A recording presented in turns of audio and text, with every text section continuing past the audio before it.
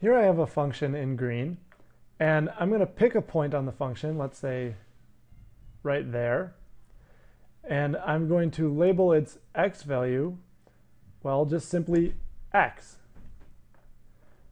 And that means its height, the height of that point, will just be f of x. Okay, and then I'm going to draw in the tangent line at that point.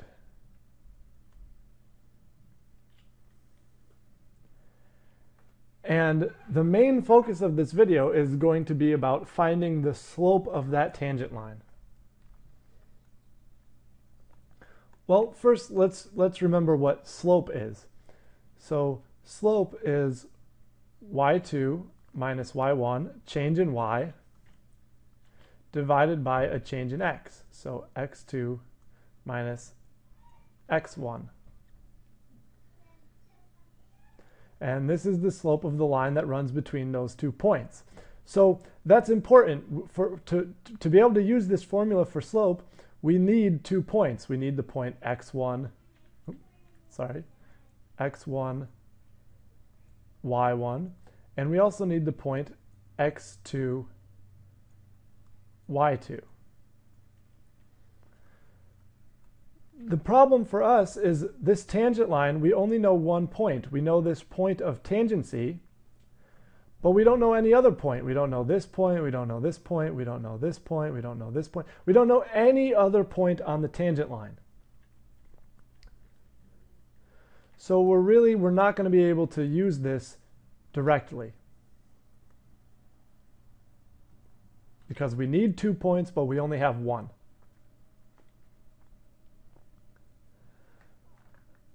But we're not going to give up. What we're going to do is pick another point on the function, because we can always find points on the function. And now we can draw a line between the point of tangency and this point up here, what I'll call the estimation point. So we have that line, we have two points on the line, so we can find the slope of that line. And, and just by the way, this line here is called a secant line. So we could find the slope of that line and, and we'll say, hey, you know what? The slope of that, that the pink line, the secant line, is approximately the slope of the tangent line. So it's an estimate, you know, it's not perfect, but they're, they're kind of similar. And then we say, well, you know what? We want our estimate to be better. So we move our estimation point a little bit closer to the point of tangency. And hey, that line there, the slope of that line is, is, is a better estimate of the slope of the tangent line. So we say that worked pretty good. Let's move even closer. And now we have an even better estimate. So we say, hey, you know what? Why, why stop there? Why not move even closer and closer and, and get better and better estimates? So we're taking our estimation point and we're approaching the point of tangency.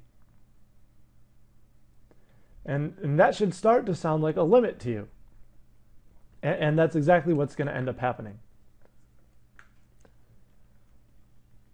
But let's go back and, and start formalizing things. So that's the concept behind what's, what's about to happen. Uh, but let's, let's start formalizing it and labeling it. So we'll start with our original estimation point, and let's give it a label. So our original x value, we started at, start at the origin and we move over by x, and then to get to this estimation point, we move over just a little bit more, what I'm going to call h. So we've moved over by x, and then plus that, we've moved over by h. So this x value here is simply x plus h. Now, why did I call it h? I don't know. That's what's commonly used. Okay, so x plus h, that means the height of that point is f of x plus h.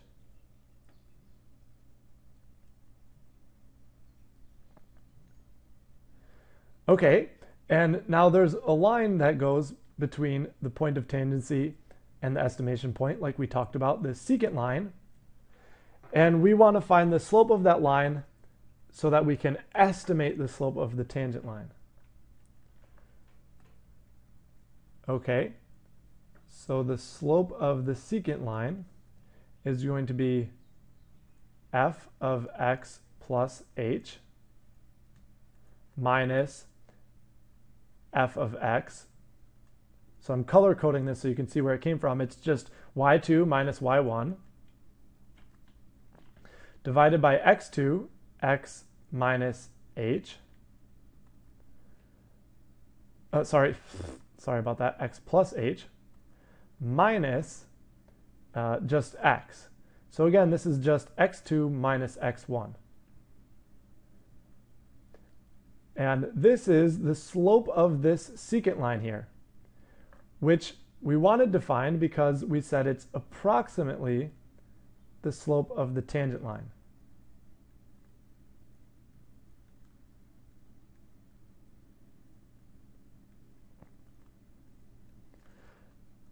Now notice that there's a, an x and a negative x. Well, those are just going to cancel.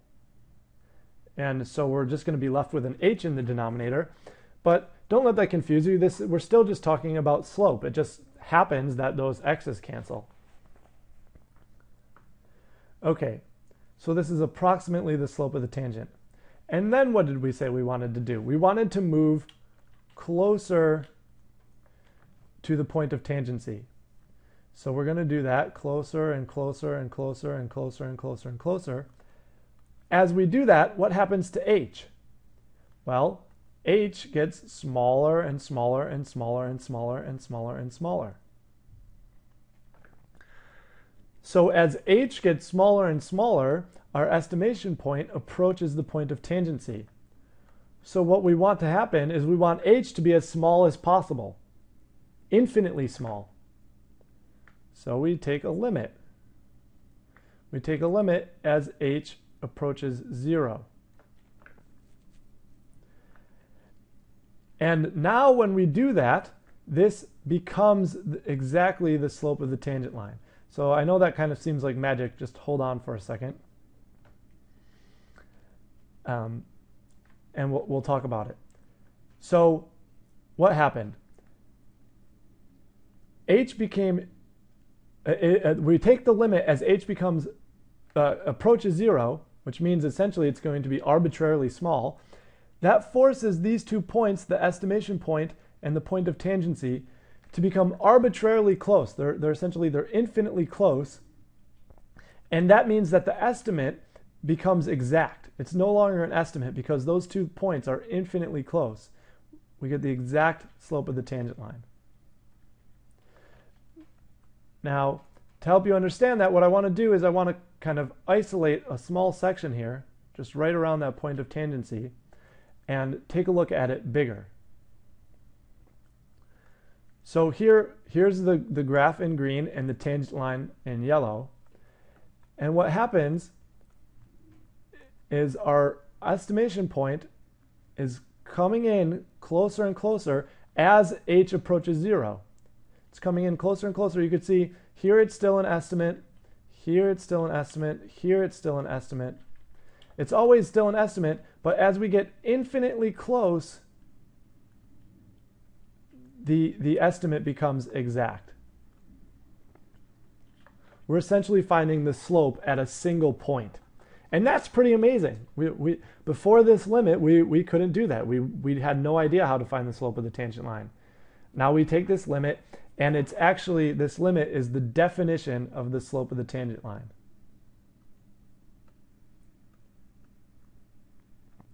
And not only is it the slope of the tangent line, but it's also, this is the derivative. It's the definition of the derivative. So the derivative is just the slope of the tangent line. And, and that's pretty cool because the der, uh, derivatives are essentially half of calculus. Okay, I hope this helps and I'll see you in the next video.